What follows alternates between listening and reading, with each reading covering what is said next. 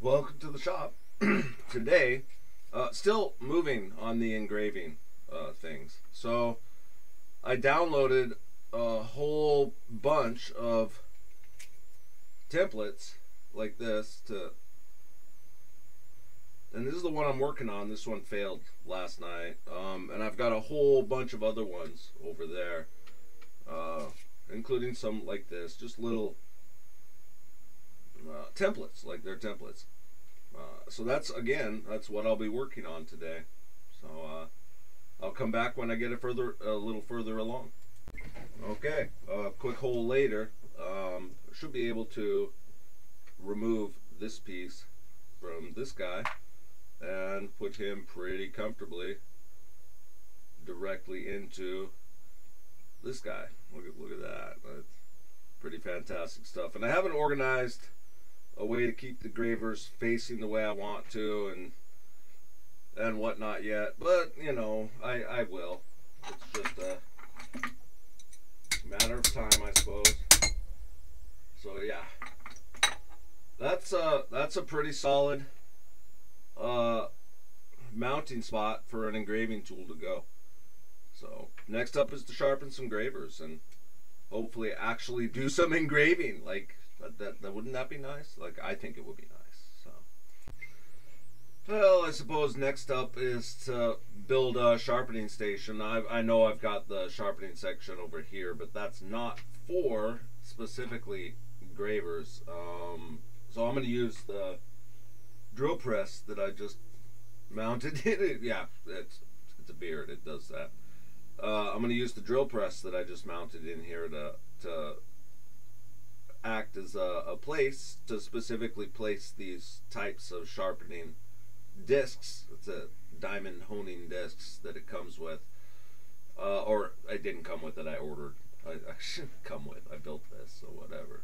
Um, and then there's these templates that uh, be set at a pretty specific length. I think it's 40 millimeters from the base to the end. Um, and this is the shaping. small one just gives you the general shape, and then this one gives you the honed edges that, that you need to actually do some engraving with. So, kind of interesting concept, and I don't really understand it all, but I'm building it, and uh, if I can make it work, uh, I'll make it work.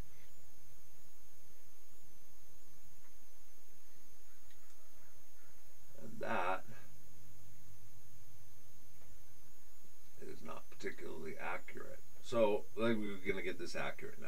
So uh, it's almost like the universe knows how to te tease me. Uh, that is what that plate is for, and it's used in junction with uh, the jigs here that were made off of those paper templates that I showed in photos earlier to uh, sharpen the tips on the engraving heads that go into the graver machine uh, so that I can engrave. I'm the engraver, this is the graver. It took me a really long time to figure that out. Okay, well, that's got the magnetic light set up. I suppose I'll post some of that information to Facebook and uh, Instagram, at least until the cord comes up and I can start using this camera. Uh, next up is going to be sorting out where to put the new regulator uh, for the air. Um, and hopefully I can film some of that. We'll see how it works out. Alright, 3,000 years later the compressor calms down. So this and a regulator got wired in today. It's still running about 40 pounds. Uh, and the compressor still makes a ton of noise. But it's working. Um, you can't really see it, but let's see if I can pan over. That right there, this thing, is meant to be a jig or the plate to hold hold still while I uh, sharpen the graver tips. I thought I had a few sharpened because, you know, anyway, here's one that's kind of kind of botched up, but there it is. And there's a there's a few more uh, fixtures and stuff that I've built that are floating around the shop somewhere. Uh, and uh, hopefully, with a little bit of luck, I'll actually be engraving before too long. Or I shouldn't say luck, but a whole lot more hard work, and I'll be engraving before too long. Uh, and I'm just going to keep moving in the shop.